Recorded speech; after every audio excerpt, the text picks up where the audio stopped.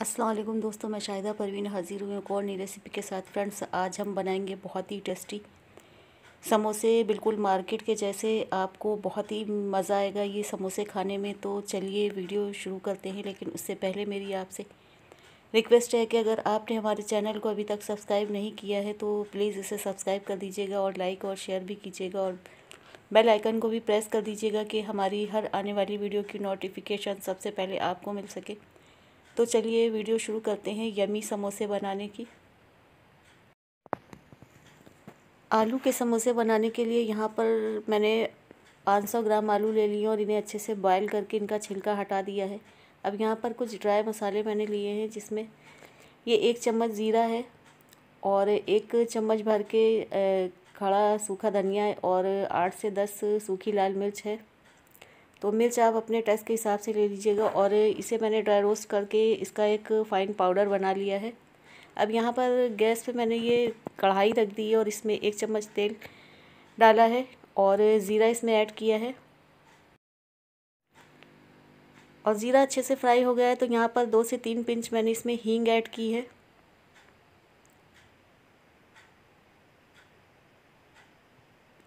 अब यहाँ पर आलू को मैंने इस तरह से हाथ से तोड़ लिया था। थोड़ा बड़े और छोटे टुकड़े इसके कर लिए हैं।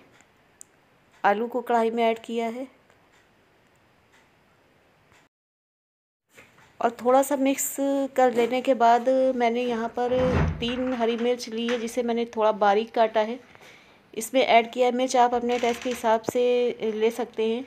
और इसके बाद मैंने यहाँ पर हरी मटर भी ली है, इसे मैंने एक पानी में अच्छे से बॉयल कर लिया था थोड़ा सा मैंने इसे पहले से ही गला लिया था। और आप मटर को स्किप भी कर सकते हैं और यहाँ पे मैंने आधा चम्मच हल्दी का पाउडर लिया है, इसे भी इसमें ऐड किया है।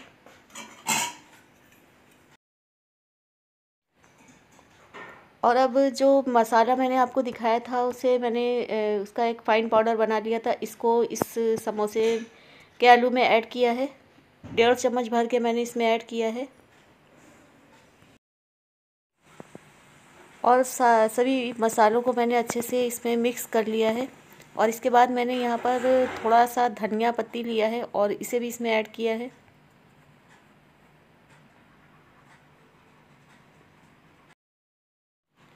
और आधा चम्मच नमक लिया है। नमक आप अपने टेस्ट के हिसाब से कम और ज़्यादा कर सकते हैं।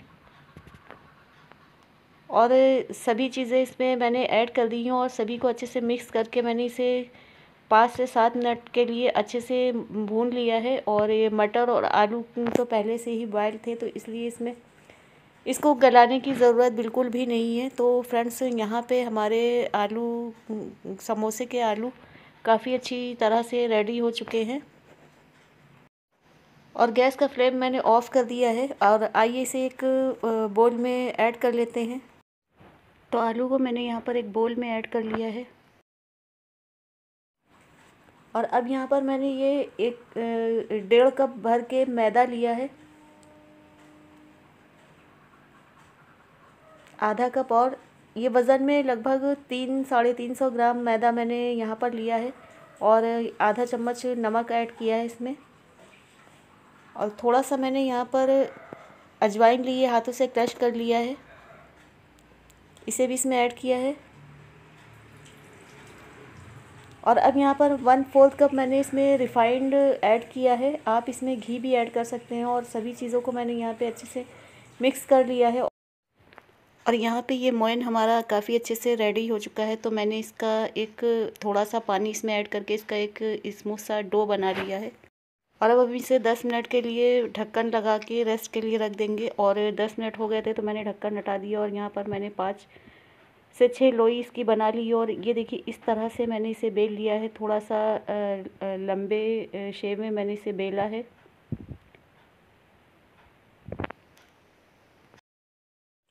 और लंबे शेप में बेलने के बाद मैंने यहाँ पर इसे बीच से कट कर लिया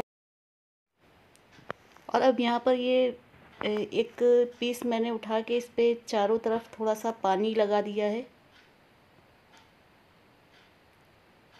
और इसे इस तरह से पानी को चारों तरफ़ लगाने के बाद मैंने ऐसे फोल्ड कर दिया है।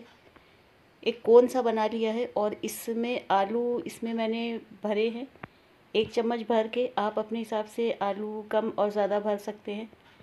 और मैंने यहाँ पे एक चम्मच भर के इसमें आलू ऐड किए हैं और इसके बाद मैंने दोबारा से इसमें चारों तरफ़ से पानी लगा दिया है और इसे इस तरह से प्रेस करके हल्का सा दबा के, ये देखिए इस तरह से मैंने इसे दबा के थोड़ा सा घुमा के और इसे समोसे के शेप में बना लिया है। ये देखिए समोसा हमारा बन के रेडी हो चुका है तो इसी तरह से हम दूसरा समोसा भी तैयार करेंगे। पहले की ही तरह, पहले ही वाले प्रोसेस की तरह चारों तरफ़ मैंने पानी लगाया है और उसके बाद मैंने इसे एक कोन के आकार में बना के इसमें एक चम्मच भर के आलू ऐड किए हैं और फिर से दोबारा से वही प्रोसेस मैंने इस पर पानी लगाया है चारों तरफ़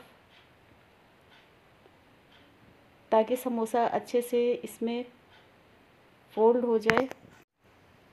और ये देखिए, इसी तरह से पहले सेम पहले वाले ही प्रोसेस की तरह मैंने इसे थोड़ा सा प्रेस करके घुमा के और पीछे से समोसे के शेप में इसे बना लिया है। तो यहाँ पर दूसरा समोसा भी हमारा बन के रेडी हो चुका है और बाकी के सभी समोसे मैंने इसी शेप में बना लिए हैं।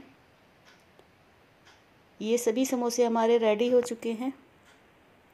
तो यहाँ पे गैस पे मैंने ये कढ़ाई रख दी है दोबारा से और इसमें मैंने रिफाइंड ऐड किया है।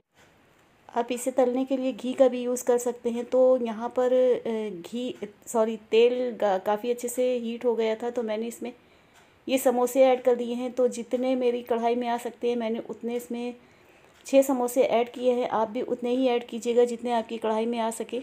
और समोसों को अभी हम थोड़ी सी देर ऐसे ही रहने देंगे। और फ्लेम को मैंने बिल्कुल लो पे रखा है। और दो से तीन मिनट तक के ये लो फ्लेम पे अच्छे से कुक हो गए हैं तो मैंने इसे एक साइड से पलट दिया है। और इस साइड से भी हम इसे लो फ्लेम पे ही इसी तरह से सेक लेंगे। और समोसों को कुक होते हुए तीन से चार मिनट हो गए हैं और ये दूसरे साइड से भी अच्छे से सीख गए हैं तो मैंने इसे फिर से दोबारा से पलट दिया है सभी समोसों को और हम इसे फिर से ऐसे ही दो से तीन मिनट तक के बिल्कुल लो फ्लेम पे सेकते रहेंगे। और आप इस बात का स्पेशली ध्यान रखिएगा कि फ्लेम को बिल्कुल भी हाई नहीं कीजिएगा, वरना ये अंदर से ऊपर से तो सीख जाएँगे, लेकिन अंदर से बिल्कुल कच्चे रह जाएँगे। तो मैंने इसे बहुत ही लो फ्लेम पे इसे सेका है। तो ये देखिए हमारे समोसे दोनों साइड से काफ़ी अच्छे से सीख गए हैं और इसमें बहुत ही अच्छा सा ये कलर आया है। आप देख सकते हैं। तो थोड़ी देर हम इसे ऐसे ही दो से तीन मिनट तक के और ऐसे ही कुक होने देंगे और थोड़ा सा इधर उधर से इसे घुमाते रहेंगे।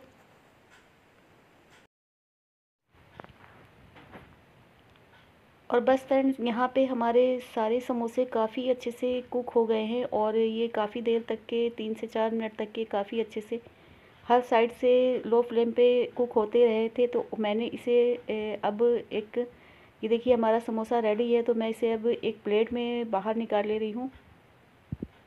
और सभी समोसे हमारे अच्छे से, जितने कढ़ाई में थे, अच्छे से सीख गए हैं तो मैं सभी को इसे बाहर निकाल ले रही